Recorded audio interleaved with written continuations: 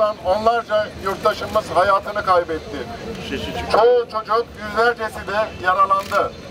İlçe halkı ile kentteki Suriyeliler arasında çatışmalar çıkarken Reyhanlı tam bir savaş alanına dönüştü.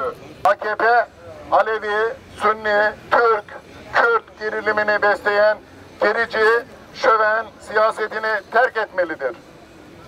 Sınır kentleri silahlı çetelerin ve uluslararası cihatçıların lojistik hattı olmaktan çıkartılmalıdır.